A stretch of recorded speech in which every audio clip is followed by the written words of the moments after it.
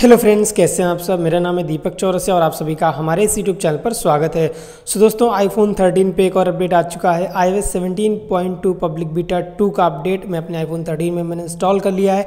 इस अपडेट में बहुत सारी चीज़ें नई मिली हैं हमारे आईफोन अपना थर्टीन को।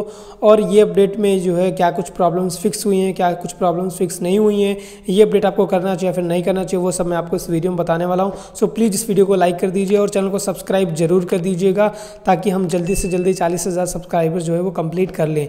यहाँ पर गैस पिछली वीडियो में मैंने आपको बताया था I seventeen point one public beta जो अपडेट है वो बहुत अच्छा चल रहा है और यहाँ पर I seventeen point two public beta जो है वो आपको वन आ चुका है जिसका जो साइज़ है वो six point zero seven G B का काफ़ी बड़ा अपडेट है ये। और यहाँ पर जो चीज़ें लिखी हुई हैं वो आप लोग पहले पढ़ लीजिए।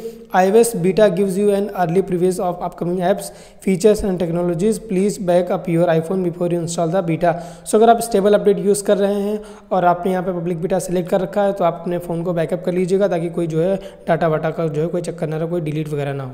सो यहाँ पर गैस अपडेट का साइज़ मैंने आपको बता दिया six point zero seven G B का है और अपडेट से पहले जो अपडेट था I O seventeen point one जिसका बिल नंबर था two one B seven four और यहाँ पर आप लोग देख लीजिए अपडेट से पहले इस फ़ोन में जो अवेलेबल स्पेस था वो था sixty point nine one G B का और अपडेट से पहले इसमें जो मॉडर्न फर्मवेयर था वो था three dot one zero dot zero two और अपडेट से पहले इस फ़ोन में जो I S seventeen point one का जो डाटा था, वो था ten point nine one G B और जो सिस्टम डाटा था, वो था nine point nine six G B का।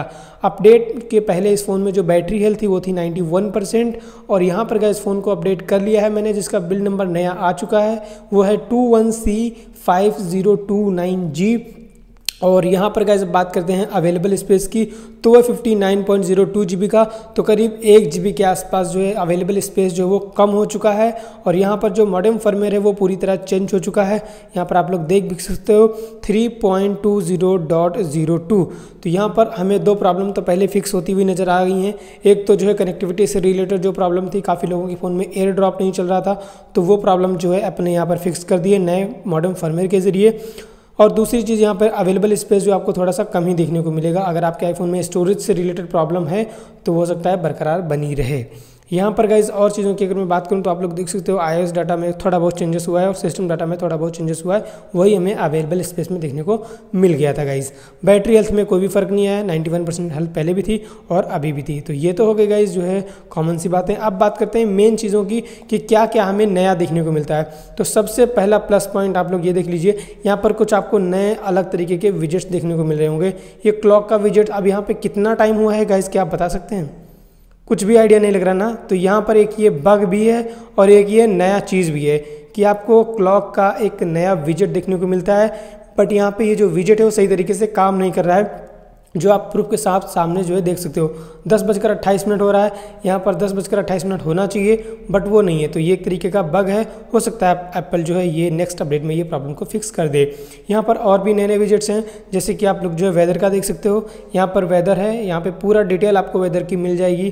क्या कुछ वाइंड चल रही है, नई Q I U V I जो भी है सब चीज़ें वेदर से रिलेटेड वो पूरी की पूरी इन्फॉर्मेशन आपको जो है विज़िट में ही देखने को यहाँ पर फ्रंट में मिल जाएगी। तीसरी चीज़ गाइज़ यहाँ पर आप लोग ये देखिए, यहाँ पर जो है ये आपको बैटरी हेल्थ दिख रही है नाइन्टी सेवन परसेंट ये बैटरी हेल्थ नहीं बैटरी है जो अपने फ़ोन में भी इस टाइम पे है नाइन्टी सेवन परसेंट तो यहाँ पर अभी थोड़ी देर पहले क्या था नाइन्टी सेवन परसेंट के साथ साथ यहाँ पे दो डॉट भी थे, जो कि अभी वो गायब हो चुके हैं। हो सकता है आप लोगों ने एक्सपीरियंस किया हो, अगर आपने इसको अपडेट किया होगा तो यहाँ पर अभी भी थे बट वो गायब हो चुके हैं। तो यहाँ पर ये बग भी है, इसमें भी है और इसमें भी है। सो ये देखते हैं कब एप्पल इस चीज़ को फिक्स करता है। अब बात करते हैं सबसे बड़ी और मेन चीज़ की, जो यहाँ पर एप्पल ने जो है रिलीज़ किया है। चलिए आपको चेकआउट कराते हैं। और जिसका बहुत लोग पहले से बहुत ही, काफ़ी टाइम से जो है वेट कर रहे थे। तो यहाँ पर आप लोग ये देखिए। आपको कॉन्टैक्ट की वेरिफिकेशन का जो ऑप्शन है फाइनली वापस आ चुका है और आप इसका इस्तेमाल कर सकते हैं, जो कि बहुत ही काम का काफ़ी लोगों के लिए और काफ़ी लोगों के लिए बिल्कुल भी यूज़लेस जैसे मेरे किसी काम का नहीं है।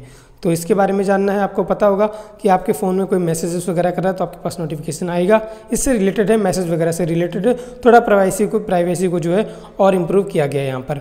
बात करेंगे और चीज़ों की, नया क्या तो एप्पल म्यूज़िक में आपको जो है नया मिल जाता है। वही नए जो है आपको बैनर वगैरह और आपको नए सजेशंस अच्छे अच्छे वो सब मिल जाता है, जो कि बहुत ही कम काम के हैं।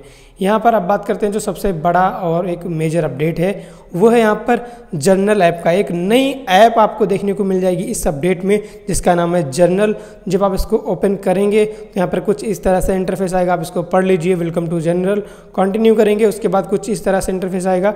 यहाँ पर एक प्लस वाले आइकन पर आप क्लिक करेंगे तो आप नया जर्नल जो है क्रिएट कर सकते हैं। Journal suggestions iPhone users on devices intelligence to create journaling suggestions based on your everyday moments आप दिन भर क्या करते हो उससे रिलेटेड आप कुछ लिखना चाहते हो? जैसे हम अपनी एक डायरी मेंटेन करते थे, जब फ़ोन्स नहीं थे, हम वहाँ फलाने दिन इस डेट को वहाँ गए थे, उस दिन वहाँ गए थे। एक तरीके की मैं इसको डायरी ही बोलना चाहूँगा। तो उस, यहाँ पे ये स्मार्ट डायरी हो गई एक तरीके से, क्योंकि आपको ये आपको सजेस्ट कर देगी कि आप क्या लिख सकते हो। यहाँ पर आप जो है सब चीज़ों को अगर आप करना चाहते हो एक्टिव कोई डायरी मेंटेन करते हैं कुछ लोग तो उनके लिए ये मेरे हिसाब से काफ़ी सही चीज़ हो सकती है।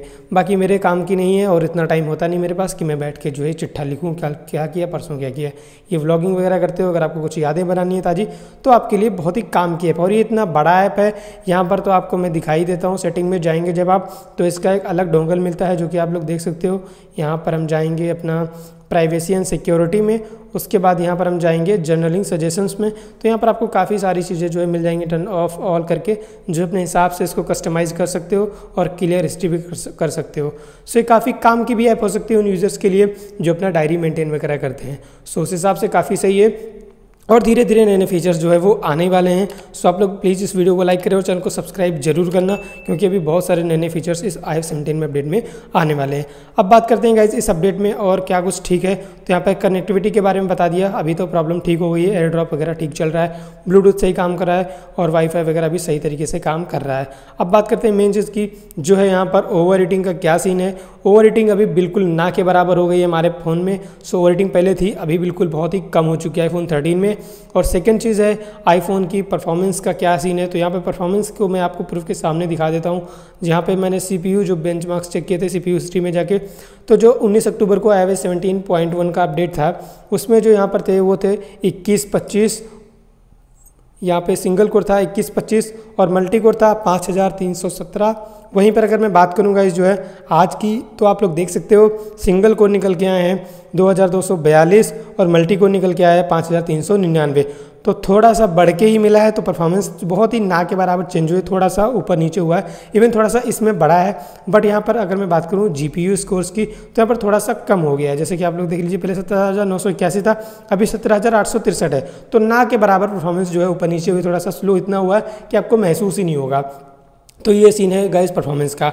अब बात करते हैं एक मेन चीज़ जो कि बहुत ही बड़ी चीज़ है आज के टाइम पे आईफोन 13 यूज़र्स के लिए, जिसके ऊपर कल वीडियो भी बनी थी, वो है इसका बैटरी बैकअप तो यहाँ पर बैटरी हेल्थ मेरे आईफोन की जो है 91 परसेंट है और आई सेवनटीन पब्लिक बिटा जो अपडेट था, उसमें मैंने आपको बताया था कि आईफोन थर्टीन में टोटल बैटरी बैकअप कितना मिल सकता है। वो आप लोग वीडियो जो है जाके देख लीजिएगा, कल ही मैंने अपलोड करी थी।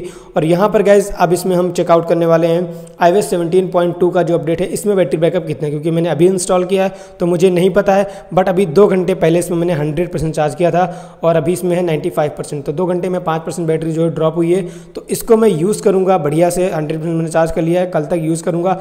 देखूँगा कि बैटरी बैकअप आई एस का अपडेट का जो अपडेट है, उसमें battery backup iPhone thirteen users के लिए कैसा हो सकता है? बहुत अच्छा हो सकता है, बहुत ही खराब हो। तो इसको मैं एक्सपीरियंस करने वाला हूँ उसका मैं रिव्यू करूँगा दो दिन के बाद। तब तक आप लोग प्लीज़ इस वीडियो को लाइक करिए और चैनल को सब्सक्राइब करके बेलाइकन को ज़रूर ऑन रखिएगा ताकि जब मैं वीडियो डालूँ, उसकी नोटिफिकेशन आप लोग तक पहुँच जाए। सो गाइज़ यही था अपडेट का वीडियो आईफोन थर्टीन के लिए मेरे। सो अगर आपको ये वीडियो पसंद आए तो वीडियो को लाइक ज़रूर करना। और गाइज़ यही था वीडियो। मैं मिलता हूँ गाइज़ आप लोगों से नेक्स्ट वीडियो में। और अगर आपके माइंड में कोई सवाल है, सुझाव है आईफोन थर्टीन मतलब आईफोन थर्टीन से रिलेटेड कोई और वीडियो देखना चाहते हो तो उसके बारे में नीचे कमेंट कर दीजिए। मैं उस पर भी वीडियो बना दूँगा। सो मिलता हूँ आप लोगों से नेक्स्ट वीडियो में। तब तक के लिए बाय बाय